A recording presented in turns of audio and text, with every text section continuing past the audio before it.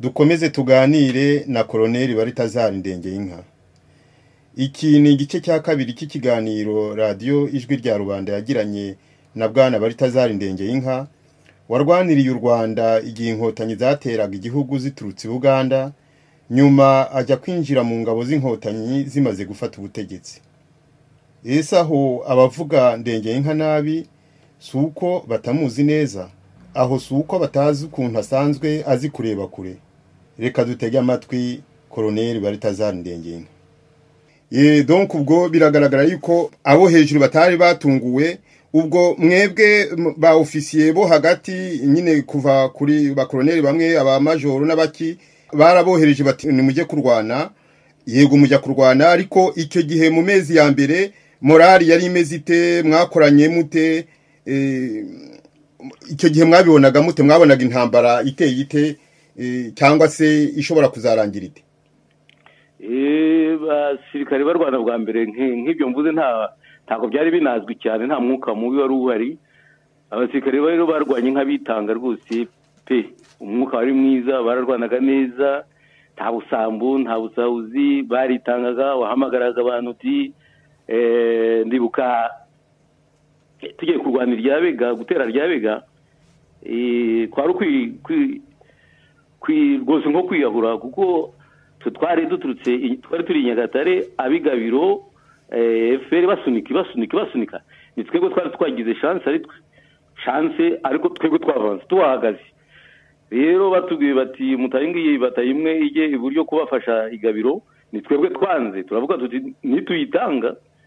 Ni ukuvuga ko turaba nk'abo turasubira inyuma efuperi dusunika. Ahubwo nibadufashe tu nibatubwire tubafashe dutere irya bega hariya ni umuhanda banyura babatera nituhafata ntabwo bongera kugira. Rero duhamagara umuntu muri leta araza turabimusobanurira ati aha murumva mufite kuraje kweri gutera hariya rwose tujya hejuru rwose turahamwereka. Hariya mu birometero bine turagenda umuhanda tuwufate. Tuwukate nituwukata ntibongera kuko abagemura abasirikari bagemura ibiryo bagasubira ikagitumba ariko umuhanda banyuze uwukase rero biba birangiye. Arareba ndetse atugirira impuhwe ati mwe kugira ubwo yiba ari ibyo mu mbabarire mwe kujya uyu munsi ndajya kubashakira abandi basirikari ibyumba. Aragenda babwira umuntu witwa mugaragu komanda mugaragu baramubwira bati rero hari igabiro nyagatare ejo hari intambara ikomeye. None twabaye tubahagaritse kugira ngo uzajyeyo muri ramforu none ubwo mwebwe bari hano ntimwigeze murwana ntimuramenye ko by'amasasu. Shaka abavoronteri ubajyane. Ako kanya yarahamagaye ati arasobanura ati ndashaka abavoronteri ijana na mirongo irindwi. Mu minota icumi yarababonye. Abo baraje mu gitondo nibo badufashije gufata irya bega rwose bararwanye neza kugera za kagitumba kugera kugeza nko muri mirongo icyenda na rimwe. Kugeza igihe kuko habyarimana uko bakamubwiye bamwoburije gushyiraho amashyaka menshi nawe yumva ko agomba kujya kubikora koko bakabona uko bamufasha no mu ngabo. Ariko amashyaka menshi ayemera azi neza nawe ibyaha yakoreye abantu ko nibavuga batazamureka. Abami perezida wa mbere abaminisitiri abazirikari barabishe muri purizo muri mirongo irindwi na gatatu. Amashyaka agiyeho bati tuzakujyana muri rukoko. Nta urukoko kuva ubwo ntabwo yongeye kugira amahoro rwose mu gihe zamujyana muri rukoko ati ingabo ni izabo nduru ziravuga ukabona ko intambara itakiri intambara. Birongera bisubira bisaba abakiga abanyenda babibyitwa ibintu nk'ibyo. Mbese kugeza nka mirongo icyenda na kabiri twavuga ko ibintu byagendaga neza. Intandaro ni kuba hajyaho amashyaka menshi. Atari ukuvuga ko nari nanze ko amashyaka menshi yajyaho njye numvaga yari kujyaho. Ariko si yajyaho nibura mbere y'intambara. Ubwo intambara yari yaratangiye yabireka noneho akareka abanza akayirangiza akazabona kuyashyiraho nyuma. Byari kuruta. Ariko icyo gihe nyine yari afite presiyo nini cyane y'amahanga ndetse n'abo mu gihugu bavuga bati niyemere amashyaka menshi. Mugani wawe yaba yari yayemeye mbere y'uko intambara iba byari kugira inzira wenda imirwanire y'abanyarwanda bari imbere barwana na fpr iteye wenda yari gutandukana n'uko byagenze uko tubizi byagenze. Ariko icyo gihe se mm, bamuforushije kwemera amashyaka menshi kandi intambara yaratangiye hari ubwo mwamugiriye inama cyangwa se hari abamugiriye inama ku buryo bugaragara bati byange. Kandi bakamubwira noneho aramutse abyanze ukuntu noneho eh, ya mahanga amuhatira kwemera iyo multipartisme mu gihe cy'intambara azashobora kumufasha kurwana intambara n'ubundi yari igihari? Icyo ni ikibazo koko wibaza Eh, nanjye nakwibaza ariko icyo gihe by'amashyaka njye byabaye ndi ku rugamba ntabwo nigeze sinari muri kigali sinigeze menya abavuganaga nawe n'abo yavuganaga nawe twebwe twari turangajwe n'inkotanyi zari imbere yacu. Ntabwo rwose nakubwira ngo byagenze bitya mu ruhande rwe. Mm. Eh, ibintu bya- byarakomeye. Eh, hanyuma nk'amwe mwari ku rugamba muribuka yuko aho fpr yanyuraga buri gihe abaturage bahungaga ugasanga barahungira mu gace ingabo z'u rwanda zabaga zifite uko inkotanyi zije bagahunga uko zije bagahunga. Eh, icyo gihe hari ubwo mwari mwabonye ko inkotanyi ziza zica abantu bose zihuye nabo cyangwa mukirwana mu by'ibyumba mwabonaga ko zemera guhangana gusa n'abasirikari ariko abasivile bakaba poroteje neza nk'uko konvansiyo zigena intambara zibivuga. Eh, icyo nakwemeza ni uko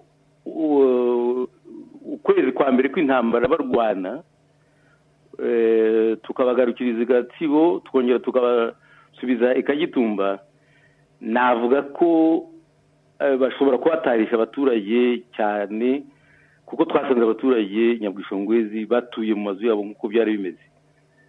Ndetse hari abasirikari bacu bari bara eh, umunsi wa mbere w'intambara bafatiwemo hagati ba- barahunga bihisha mu giturage cy'inyabwishongwezi ndibuka ko ku itariki ya mirongo itatu mu wa saa sita n'abasanze nyabwishongwezi babiri rero twavuga ko icyo gihe siko byari bi- ntibicaga.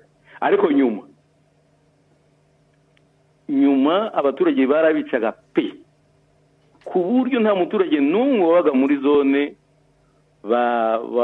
barimo ndetse nubwo twari duhanganye igihe bavuga ngo nta ntambara ihari bari muri mu mishyikirano woherezaga za paturiye inyuma yacu. Inyuma yacu zigafata abantu zikabajyana imbere zikabica. Ndetse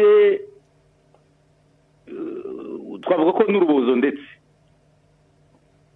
Ndibuka ndi ikirambo banzaniye umusore bari baribye mu minsi itatu yari ya peresedaga babajyana imbere. Noneho baza kuza kubajombagura ibyuma ahantu hababaza cyane. Eh, we bamugeraho sinzi uwabahamagaye bamugezeho. Abonye barangaye afata ba- ba- babasesagamo za bisituri bisituri izi ngizi zo kwa muganga ba- ba- babagisha abantu kwa muganga. Ari- arirukanka iyo bisituri arayizana. Baramunzanira baramunyereka ambwira uko abandi babishe anyereka n'ako ka bisituri ko ariko ba- ba- ba- babagishaga eh mwakagira imana abo bantu tuzashobokana dute tuzashobokana dute rwose? Eh, kandi ukabona ko bakurikiye ibintu by'ubwoko.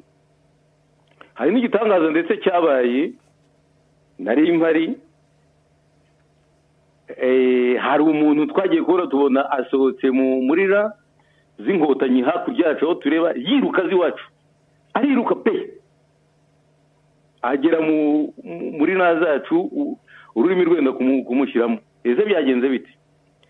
Ati hariya mu nkotanyi bari kwica abahutu bose bagiyeyo. Wese uruwahe ati baje kundokirita i butare nyiri i burundi njya hakurya atari kuvuga aho turi hariya twaraguwe rwose baravuga ngo turi ibyitso turababwira ngo ye tugere dute barabicaga gusa. Ibyo kwica byo ni ibintu bamenyereye ntabwo ari ntabwo ari ntabwo ari ukubeshya. Icyo gihe hari ryari? Ni nko mu bihe mwaka muri mirongo icyenda na kabiri.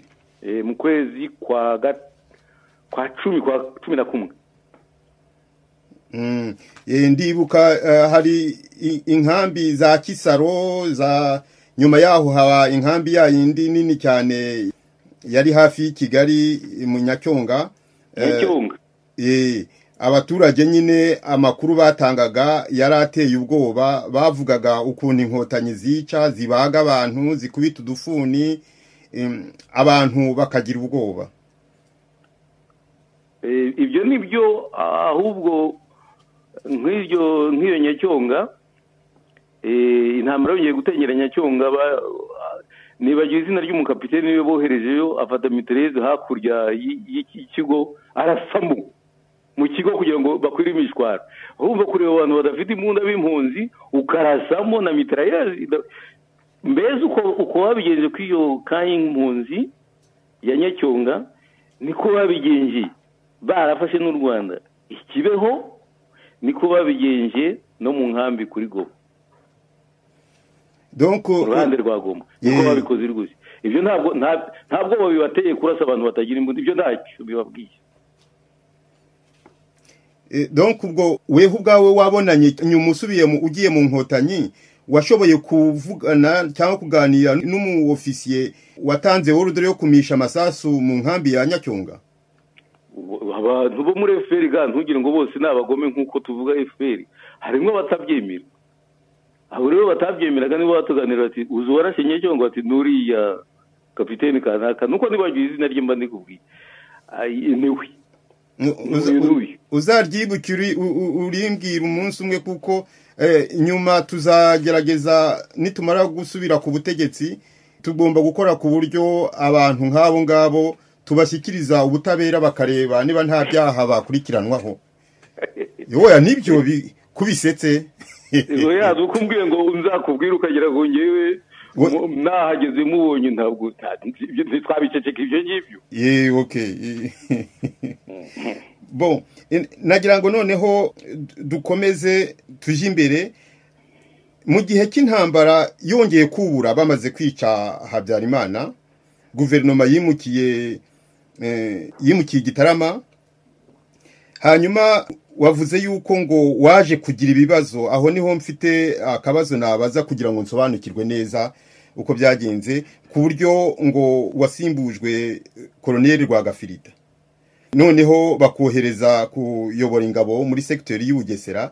Icyo gihe ibibazo wari uhuye na byo ni bwoko ki? Bo ibyo tuvuge abantu batangira gupfa mu- muri kigali ntabwo byari kirere ngo tumenye ninde uri kwica nde. N'impamvu ni izihe? Rero nkurikiye guverinoma muri gitarama eh, uko ibyum- ibi byumweru bibiri bya mbere byashize umuntu atabona neza uko birimo bigenda. Bishize e bigaragara ko ibyo ari byo byose hari ibibazo bibiri. Hari abasirikari barwana iyo kuri front n'abandi basirikari ba FPR ariko inyuma abantu barapfa. Baricwa muri za kiliziya baricwa aho bari abantu aho bahungiye mu makomine ba- baricwa. Turaza gukurikirana turakurikirana turakurikirana usanga ibyo ari byo byose harimo abayobozi eh, bo muri guverinoma. Niho rero ngewe nabonaga ari bato kuri jye none ndareba nti umwuka uhari wo ntabwo wawuhangara uri wenyine ngo uvuge ngo ibintu aya ni amakosa ahubwo azabakoraho Eh, ndibuka gitarama na nigeze nko ku bantu bane b'abaminisitire nkamwihererana muri petit déjeuner nkamusukira ikawa tugasigara muri resitora twenyine turi babiri. Bamara kugenda bose nka- nkamubwira nti rero ibi bintu by'abantu barimo bapfa hano mumenye muzabyishyura si ubwa mbere biba n'abandi bagiye babikora kera ibihugu murebe abadage ibyo bakoreye abayahudi barafashwe. Mwebwe ni kimwe bazabafata byanze bikunze. Kandi ikindi murebe u rwanda uko rumeze. Turi hagati muri afurika ntitugera ku nyanja. Icya mbere ni icya mbere kizakorwa ni uko bazadukatira kugura amasasu cyangwa peteroli. Se nk'ubu tutaguze amasasu ngo tuyabone na peteroli murabona twarwana dute aba basirikare muvuga ngo barwanire barwana gute nta masasu bafite? Biriya bibundo byaba nk'ibibando bikoreye. Imbaraga dufite ni uko tugira imodoka zitujyana zikatwirukansa hariya. Tukagenda tugatabara tukajya iriya mu birometero mirongo itanu tugatabara nta modoka se dufite zo kwikorera imbunda zigatwara abasirikare twarwana ibi bintu kandi bizabakoraho ndabona mubikinisha nk'aho bita- bitazagira icyo bidutwara. Uwa mbere uwa kabiri uwa kane bavuze bati ndengeye inka arateza umwuka mubi hano mu mujyane. Baba baranjyanye ngiye i kigali. Ariko ngenda mvuga nti byanze bikunze bazanyita ibyo ari byo byose. Kuko uko nakabivuze uretse ko nabimenye hashize ibyumweru bitatu ba- badushyize kuri lisite turi abantu cumi na babiri ngo batwice. Iyi lisiti abatutsi barashyize ibyitso byarashyize hasigaye mu basirikare. Abantu bakavuga batyo. Ukabona ko batazi ni- ni- n'indwara icyo ari cyo? Uravuze uti badushyize kuri lisite eh, icyo gihe bari batarakohereza kuyobora muri sekiteri ya bugesera? Bakimara ku Eh, nabanje kujya i kigali mpamara nk'iminsi ine. Rero muri iyo minsi ine ni ho eh, nkurikije amatariki bambwiye iyo nama yabereye muri guverinoma muri iyo minsi ine ni ho yabaye. Ariko eh, nabo baribeshya kuko babigize mu nama ya guverinoma. Eh, bakubwira abaminisitiri makumyabiri na bane ngo mwice abantu aba n'aba n'aba n'aba kugeza bageze kuri cumi na babiri ngo impamvu ni uko bagiye arusha ngo ubwo bagiye arusha buriya ni ibyitso by'inkotanyi. Kandi muri abo bagiye arusha uwuzanye ri- arimo nawe yari arimo ni ikibazo ari ukujya arusha gusa. Ariko ubundi wasanga ari abo ari abo mu karere kamwe cyane cyane n'abandi ba ubona nyine badasanzwe babonwa neza muri leta bakuru. Niba atari amabanga ushobora kutubwira abo bari ba- bashyizwe kuri lisite yo kugira wehoho urimo birumvikana? Eh, abandi bari bikoreye bashatse ku- kugirira nabi ni bande? Na uwo nakubwira neza ijana ku ijana ni uwambwiye. Eh, wambwiye ati ndenye twari duhuriye mu mujyi igi- gitarama hari iyo uri kwidagamye ntabwo uzi ko badushyize kuri ngo batwice witwa koloneli mu biro. Ziba babigenje ute ati mvuye kuba tukabara abantu ahubwo turabakoraho natwe niba ari biriya ubu yari muri guverinoma ati nawe jyayo ubatere ubwoba turebe ko babireka. Nanjye njyayo. Ariko nyuma nabiganiriye n'umuntu w'umuzungu kubera ko ti- ntitwigeze tubona igihe cyo kuvuga ngo ni bande. Uretse ko nzi ko yambwiye ko ari umubare cumi na babiri ambwira n'izina ry'umuntu wamubwiye eh, witwa semanza. Eh, ndumva nyuma tubibwiranire n'abantu b'abazungu semanza baramubajije muberuka baramubajije yaremeye ko yabi- yabimbwiye ubwo nanjye narabi- narabivuze ko nabibwiwe. Semanza abanza kwemera ariko bigeze arahakana ariko iri si ibyo ari byo byose barayi- barayishakisha bakurikije eh, izo mvugo yo kuvuga ngo bagiye arusha. Bo iri si umuntu wayikoze akabaza abantu eh, sinzi abo yagiye abaza uko yagiye ababaza uwayikoze ni mugabo witwa gishawa eh, yatubwiye ko yasanze harimo ari generali ndindirimana ruzatira eh, umuheruka we yarimo umunange eh, abitwa ba rutayisire abitwa ba karangwa abitwa ba nkundi abitwa ba- habyarimana ariko ukabona ko ni abantu n'ubundi bari ba- bafite akenshi ni abanyenduga noneho ugakurikiraho n'abo bantu bakuru abenshi duhangana na bagusohora mu nama yabaye rosisi ku itariki ya ya gatandatu inama yabaye muri leta y'amajoro abenshi twahangaye nawe tuganga yuko habaho kudeta. Abenshi ni aho ngaho yadukuye. Donc iyo lisite eh, yakozwe na gishawu ariko ntabwo yabonye dokima ya guverinoma yabivuze. Nuko wenda abo yagiye abaza hirya no hino bageze aho bakamutuma ashobora kurokonsitiye abo cumi na babiri bashoboraga kuba bavuzwe na guverinoma. Oya ni inama ya guverinoma byavugiwemo bamubwiye itariki. Ye ariko amazina nketize hari abo yabajije bamubwira itariki bamubwira n'aho yabikoreye. Ubu rero sinamubwira ngo wabajije agushyira kuri lisi ni we azi uko yayikoze. Mm, okay Yo, hari aho wari uvuze ngo uh, ngo ku itariki ya gatandatu z'ukwa kane eh, mwahanganye n'abagosora. Eh, aho hantu nagira ngo uhadusobanurire kuko bakimara kwica habyarimana mwakoze iki byagenze bite kuko burya ibyabaye muri cercle y'aba officier superieur ntabwo twe tubizi eh, uretse ibyo twagiye twumva muri za presi cyangwa ibihuha. Weho ushobora kutubwira uko byagenze n'iyo nama uko ya- yagenze uko yashojwe ibyayivugiwemo? Hari ahantu biri byanditse ubwo ni uko wenda bitigeze bivuga kuri radiyo bagiye baterateranya Eh, mu by'ukuri twese twa tubize ko indege yaguye njye n'umuntu bamwe bati indege ya habyarimana barayigushije. Bayigushije ngo iyi ndavuga niba bayigushije hagomba kuba hari ahantu hari inama kereko pare. Ndahamagara kuri minisiteri ofisiye de permanence ese indege bayigujije ko bati rwose presidentielle ya yabyemeye yuko ya- yaguye kandi yapfuye. None se ubwo ntabwo birarira aho ahantu hari inama wenda. Ati twabonye twumvaga abantu bahamagarana bajya muri mesi ofisiye eh, muri eta majoro ya ruguru pa muri mesi ofisiye muri eta majoro ya ruguru. I- nuko hariyo bandi bambwira ba- amazina ya bamwe bagiyeyo nuko nanjye njyayo.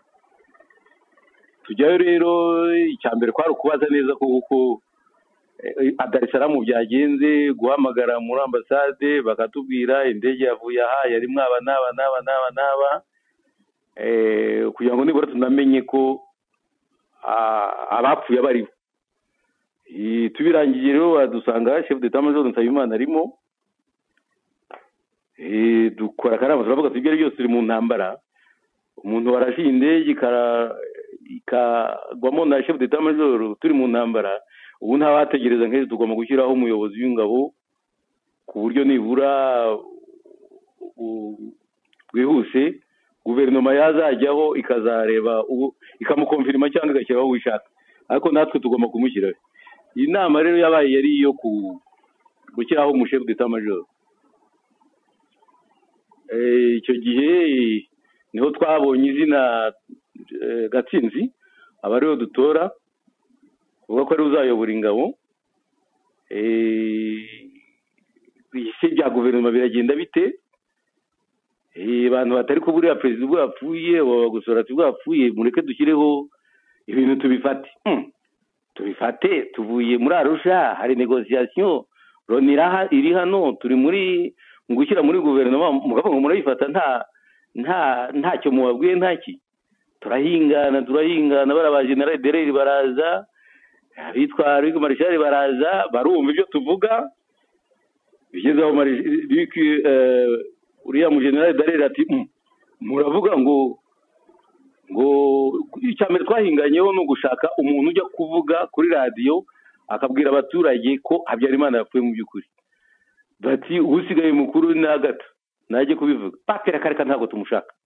Ah ko premier minisitiri utamushaka ubwo uravuga ko ushyiraho undi? Kuvuga gusa kuri radiyo ngo umuntu yapfuye.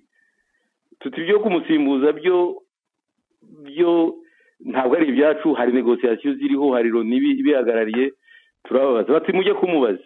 Kuko eh, dutuma bagosora n'uwitwa rwabarinda bajya kwa bobo nijoro nko mu ma saa munani cyangwa saa cyenda aragenda babimukoresha arababwira ati mutangiye kuvuga ngo mwebwe abasirikari mu- murabyifatira ngo wa gatanu mumugiraho ni ukuvuga ko loni hano nta kimaze.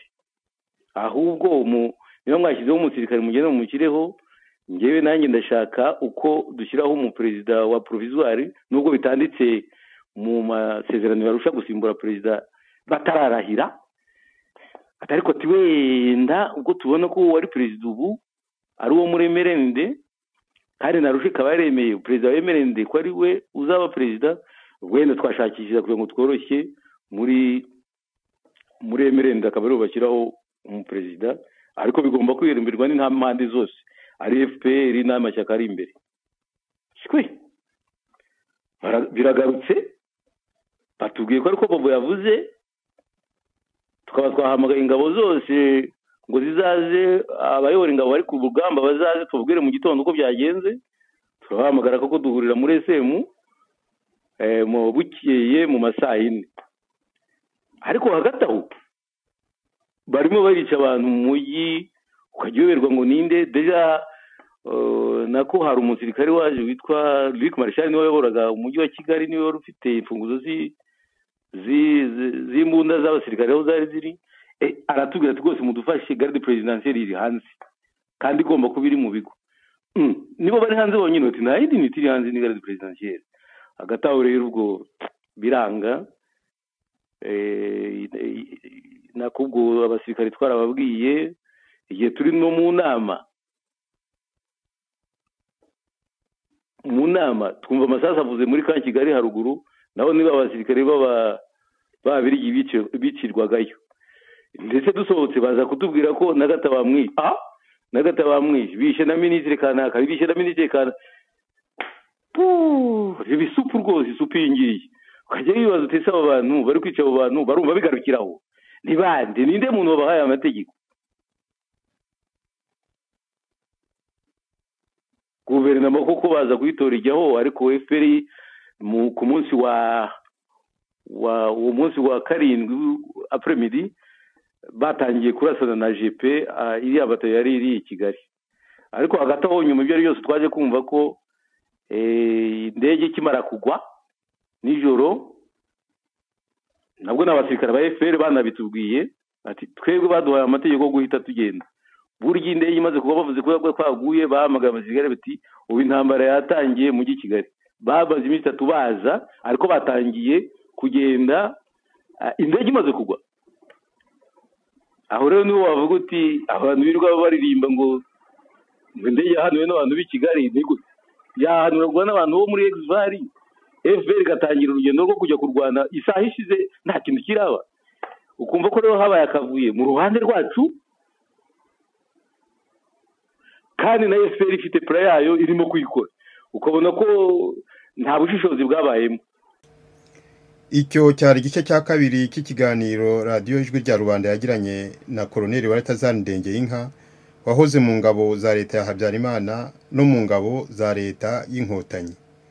Biracyaza iyi ni radiyo ijwi rya rubanda.